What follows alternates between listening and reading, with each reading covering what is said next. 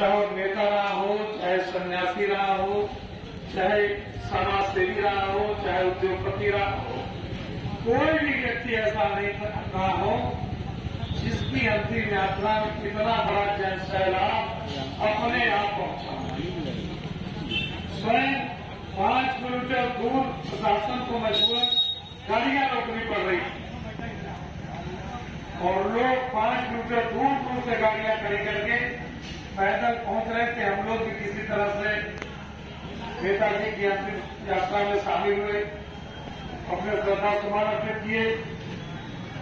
हमारे कुछ साथियों ने बताया कि हम लोगों ने बहुत पुराने लोगों को नहीं देखा है। लेकिन देश की जितनी बड़ी हस्तियाँ, जितने लोग श्रद्धे नेताजी के अंतिम संस्कार में शामिल होने आए हैं, इस तरह की कुछ स्थिति यह प्रकाश नारायण जी की अंतिम यात्रा में थी बाकी इस बीच में किसी की दिखाई नहीं। ऐसा लोगों ने बताया। श्रद्धे नेताजी ने मेरा तो सौभाग्य रहा। हम लोग दुर्भाग्यशाली रहे कि डॉक्टर लोहिया जी को हम लोगों ने नहीं देखा था। उनके साथ काम करने का मौका नहीं मिला। लेकिन इतने हम सौभाग्यशाली ज़रूर रहे कि श्रद्धे नेताजी के साथ हमें काम करने का मौका मिला। और दो हज़ार तीन में जब नेताजी मुख्यमंत्री बने थे उनके साथ मुझे मंत्री भी बनने का मौका मिला और मुख्यमंत्री के रूप में जो विभाग उनके पास था उसी विभाग में मुझे राज्य मंत्री भी बनने का मौका मिला बहुत करीब से मुझे नेताजी को देखने का उनके साथ काम करने का और उनको समझने का मौका मिला बाबा साहब, डॉक्टर भीमराव अंबेडकर ने जो देश को संविधान दिया।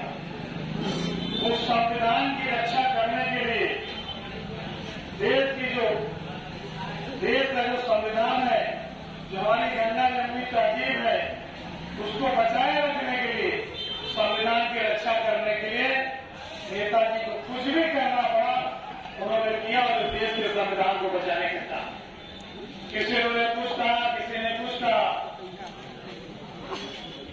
किसी ने मुल्ला मुलायम सिंह कहा किसी ने कुछ कहा किसी ने कुछ कहा लेकिन उन्होंने बार यही कहा कि देश की रक्षा के लिए, गंगा जमनी तहजीब को बचाए रखने के लिए, और इस देश के संविधान को बचाए रखने के लिए, एक मुख्यमंत्री के रूप में मुझे जो करना चाहिए था, वो मैंने देश को बचाने के लिए किया। बाद में लोगों ने उस बात को स्वीकार किया। और मुख्यमंत्री के रूप में आप यहाँ ज़्यादा व्यापारी लोग जुटे हैं। मुझे भी याद है फैजाबाद रोड पे कहाँ चुनी थी? सुल्तानपुर रोड पर जो चुनी थी आजमगढ़ रोड पर जो चुनी थी, जौनपुर रोड पर जो चुनी थी। जब कोई भी व्यक्ति अपना माल लेकर जाता था, जब व्यापारियों का माल आता था तो चौंगी पर क्या क्या हालत होते थे सब हमारे बड़े भाई लोग, बुज़ुर्ग लोग बैठे सब और आप भी गद्दी बना करके मार्केटिंग वाला सप्लाई वाला सेल टैक्स वाला एसडीएम कोटवान किस तरह से नाच करते थे। किस तरह से व्यापारियों को पालित करने का काम करते थे? इतनी गंभीर हालत थी तीन बजे साहब। लगता था इससे बड़ा ज़ोर कोई देश में है नहीं। उसे भी समाप्त करने का काम अगर किसी ने किया था, माननीय नेता जी ने किया। इंस्पेक्टर राज से मुक्ति दिलाने का काम। अगर किसी ने किया था तो माननीय नेताजी। और जैसे उन्होंने किसानों के दुर्घटना पर किसान बीमा योजना लागू करके किया था, उसी तरह से व्यापारियों की व्यापारी दुर्घटना बीमा योजना लागू करके व्यापारियों के भी परिवार को राहत देने का काम माननीय विराट सिंह यादव जी ने किया। कोई किसी भी दल का मानने वाला हो लेकिन नेताजी के किए हुए काम का कोई भी व्यक्ति बुराई नहीं कर सकता। और कोई भी व्यक्ति चला जाए किसी दल का चला जाए आप बताइएगा नेताजी जातिवादी होते डॉक्टर राम मनोहर लोहिया तो नेताजी की जाति के नहीं थे? डॉक्टर राम मनोहर लोहिया जी बहुत बड़े व्यापारी के बेटे थे। वैसे समाज से थे और बहुत दूर के नहीं थे। आपके शाहजहांपुर अकबरपुर में उन्होंने जन्म लिया था और उनके पिताजी कलकत्ता के बहुत बड़े व्यापारी थे।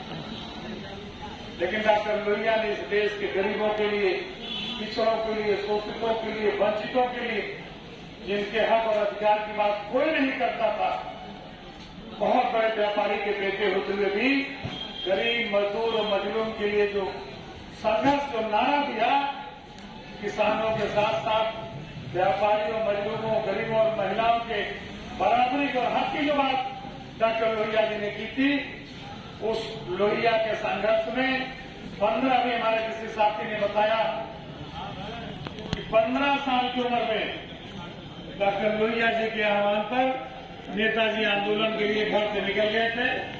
पंद्रह साल की उम्र में आंदोलन करते हुए जाना और उनके पिताजी कोई एमएलए नहीं थे कोई बड़े व्यापारी नहीं थे कोई बड़े किसान नहीं थे कोई बड़े आदमी नहीं थे। एक झोपड़ी से निकल करके नेताजी ने खुद तो प्रधानमंत्री नहीं बन पाए। देश की खातिर उन्होंने अपने आप को पीछे कर लिया। अगर वो चाहते तो प्रधानमंत्री बन जाते। लेकिन देश को बचाने के लिए उन्होंने अपनी उम्मीदवारी पीछे कर ली और P P Singh Chandrashekhar Devegowda I K Gujral जैसे लोगों को चार चार बेटियों की देश का प्रधानमंत्री बनाने का काम अगर किसी ने किया तो हमारे नेता सत्येंद्र राज यादव जी वो चाहते तो उस समय बन सकते थे, लेकिन उन्होंने कहा अगर हमारे बनने से कहीं कोई नुकसान होगा तो अपने प्रधानमंत्री पद की ज़िम्मेदारी वापस ऐसे नेता मानी राज सिंह आप किसी ने सोचा था, बेटियाँ जब बारह पास कर लेंगी तो सरकार उनको तीस हज़ार रुपये देगी किसी के जेहन में भी कभी नहीं आई थी।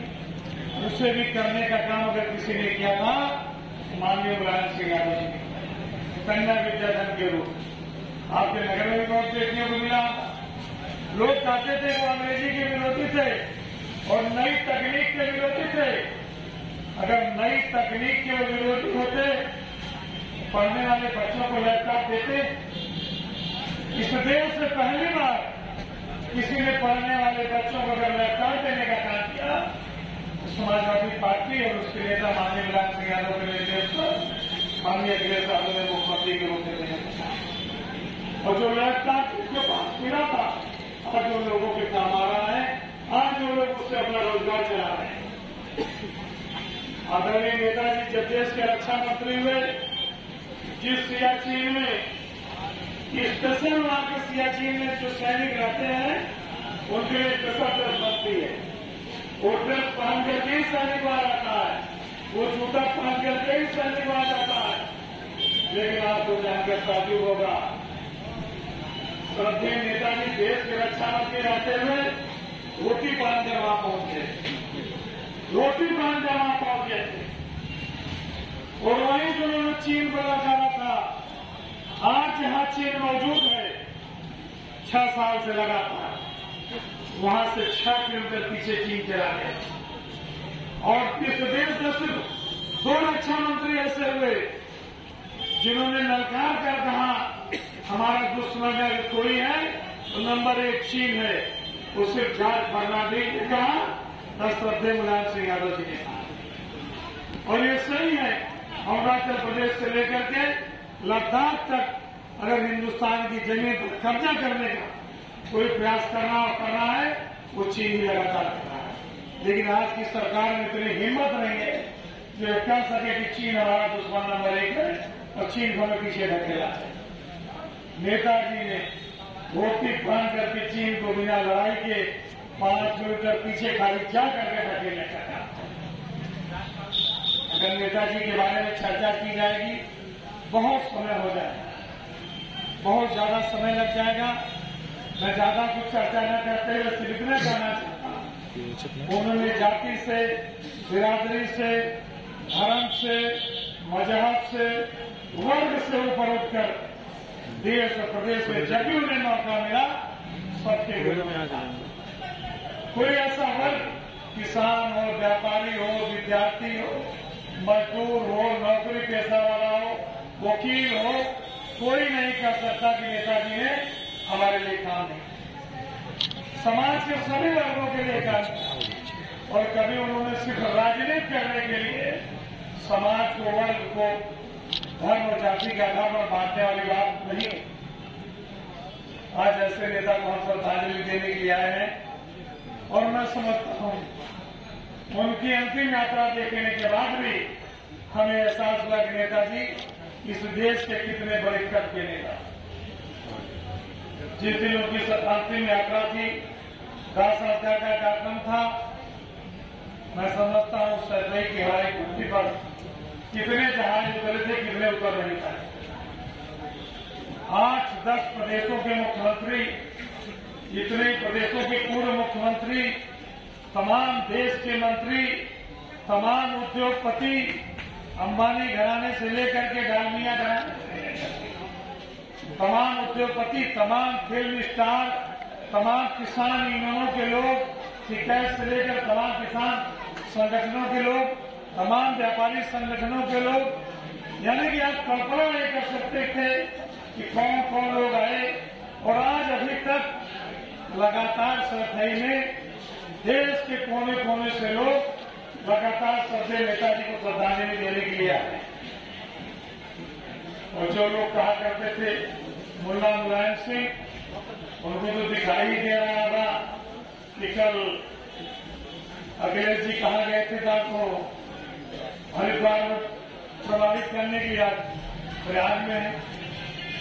मैं समझता हूँ उसे कहने वाले लोग खुद ही हो गए आज हम ऐसे नेता को श्रद्धा सुमन अर्पित करने आए हैं। मैं एक आग्रह करना चाहूँगा, अगर आप श्रद्धे नेताजी को श्रद्धा सुमन अर्पित करने आए तो नेताजी के बारे में पढ़िए। इनकी विधानसभा में जो उन्होंने बोला, लोकसभा के अंदर जो उन्होंने बोला, विभिन्न कार्यक्रमों में उन्होंने जो बोला, जो इनकी किताबें हैं, जो इनके संकलन है भाषणों के, जो इनके विचार हैं डॉक्टर लोहिया जयप्रकाश नारायण की जो विचार को लेकर। इन्होंने चलने का काम किया, चौधरी चरण सिंह जी की विचारधारा को इन्होंने आगे बढ़ाने का काम किया, उस विचारधारा को लेकर अगर आप आगे चलेंगे तभी हमारी जो गंगा जमनी तहकीब है, जो हमारी, उन्होंने हमारे किसी साथी ने हिंदी की बात की। उन्होंने सिर्फ़ हिंदी की बात नहीं की थी। उन्होंने कहा, अंग्रेज़ी का विरोध करे इसका मतलब नहीं है। अंग्रेज़ी विरोधी है। उन्होंने कहा, हमारे जैसे दो आते हैं, वैसे हमारी दो भाषाएँ हैं, हिंदी और उर्दू। बिना इनके हिंदुस्तान के चेहरे अच्छे नहीं लगेंगे।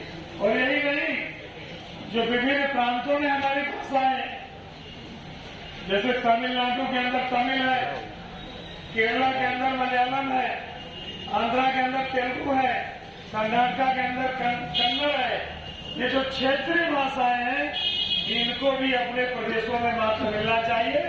जहाँ हिंदी बोली जाती है, हिंदी, उर्दू, तमिल, तेलुगु, कन्नड़, मलयालम, तमाम जो क्षेत्रीय भाषाएँ हैं, उड़िया, बंगाली, असमी, तमाम इन भाषाओं को भी अपने प्रदेश में उनके बोलने वाले लोगों के बीच महत्व मिलना चाहिए।